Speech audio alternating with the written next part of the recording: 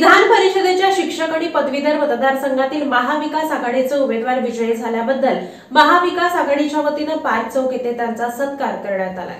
विधान परिषदेच्या शिक्षक आणि पदवीधर मतदारसंघात महाविकास आघाडीचे उमेदवार विजयी झाल्याबद्दल महाविकास आघाडीच्या वतीनं पार्क चौक येथे जल्लोष करण्यात आलाय.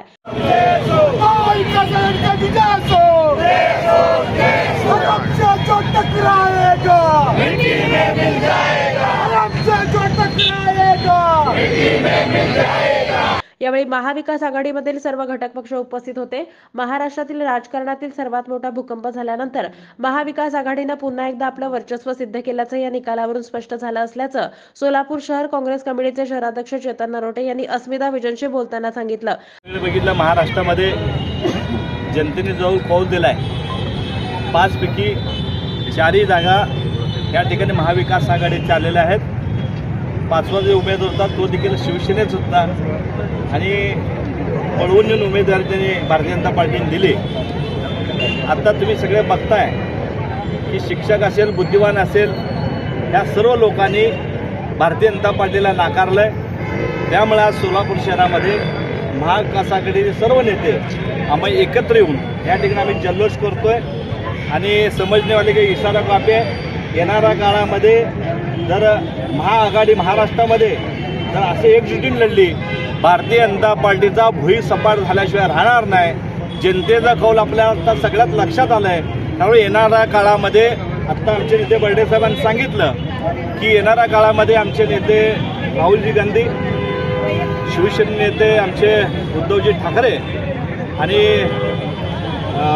राष्ट्रवादी नेते आदरणीय शरद पवारजी सुशीलकुमार शिंदे साहेब या सर्व ज्येष्ठ नेत्यांनी जर व्यवस्थित मुळी बांधली तर शंभर टक्के जो भारतीय जनता पार्टीचा नारा होता की या देशामधील काँग्रेस हद्दपार करणार.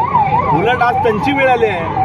आता ते हद्दपार होण्याची या ठिकाणी वेळ आली आहे. आणि येणाऱ्या काळामध्ये या प्रसंगी बोलताना राष्ट्रवादी काँग्रेसचे कार्याध्यक्ष संतोष पवार यांनी आपल्या भावना प्रसार माध्यमांशी बोलून दाखवल्या.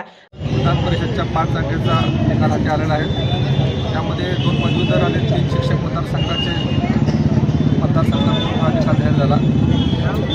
नागपूर औरंगाबाद आणि अमरावती या ठिकाणी महाविकास आघाडीचे तीन उमेदवार बहुमताने निवडून आले.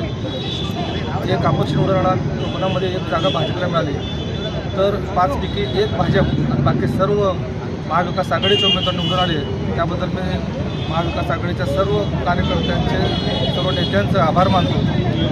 नुकत्याच महाराष्ट्रामध्ये झालेल्या निवडणुकामध्ये निकालात असं दिसतं? की महाराष्ट्रातील जनता भाजपच्या विरोधामध्ये असंतोष त्यांच्या मनात खतखततोय आहे तो आता बाहेर होतो आहे येणाऱ्या काळामध्ये आत्ताच सांगितलेल्या आमच्या नेत्याने बर्डे साहेब असतील तिरोडे साहेब असतील महापालिकेची निवडणूक लावून दाखवावी. त्यामुळे महाविकास आघाडीचा या सोलापूर शहरामध्ये झेंडा पडल्याशिवाय राहणार नाही अशी मला खात्री वाटते.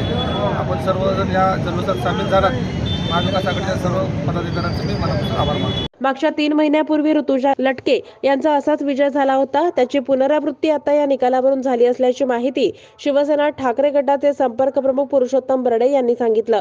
पदवीधर शिक्षक मतदारसंघाच्या पाच ठिकाणाच्या निवडणुका झाल्या या पाच ठिकाणापैकी चार ठिकाणी भारतीय जनता पार्टीचा सपशेल पराभव झालेला आहे. सगळ्यात महत्त्वाचं राजकारणात म्हटलं तर तीन महिन्यापूर्वी मुंबईमध्ये ऋतुजा लटके या शिवसेनेच्या आमदार म्हणून बिनविरोध निवडून झाल्या भारतीय जनता पार्टीने त्यांच्या विरोधात मोठ्या वादत गाजत अर्ज भरला होता. पण त्यांना जनमताचा कौल कळाला आणि ते भारतीय जनता पार्टी तिथनं पळून गेली.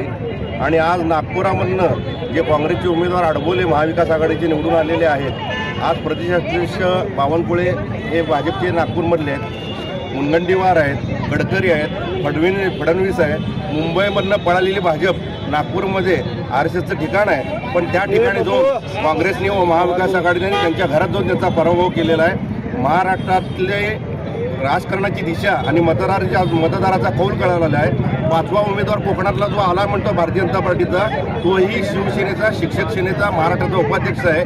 त्यांना उमेदवार सुद्धा भेटला नव्हता अशी भारतीय जनता पार्टीची परिस्थिती आहे. मी या चारी विजयाप्रसंगी एवढंच सांगू इच्छितो की तुम्ही सोलापूर महानगरपालिकेची निवडणूक तातडीने लावा काँग्रेस राष्ट्रवादी शिवसेना या प- या इंद्रभवनवर इंद्रभवनवर आमच्या महाविकास आघाडीचा झेंडा फडकवल्याशिवाय राहणार नाही असं मला वाटतं. आणि देवेंद्र फडणवीस यांनी ताबडतोब राजीनामा द्यावा अशी मी मागणी करतो. याप्रसंगी काँग्रेसचे शहराध्यक्ष चेतन नरोटे हेमा चिंचोळकर गणेश डोंगरे तिरुपती परकीपंडला रॉकी बंगाळे राष्ट्रवादी काँग्रेसचे कार्याध्यक्ष संतोष पवार शिवसेना ठाकरे गटाचे संपर्क प्रमुख पुरुषोत्तम बर्डे यांच्यासह महाविकास आघाडीतले नेते यावेळी मोठ्या संख्येनं उपस्थित होते.